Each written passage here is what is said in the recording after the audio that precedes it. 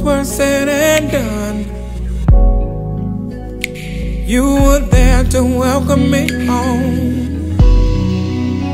I was convicted cause your love never wavered.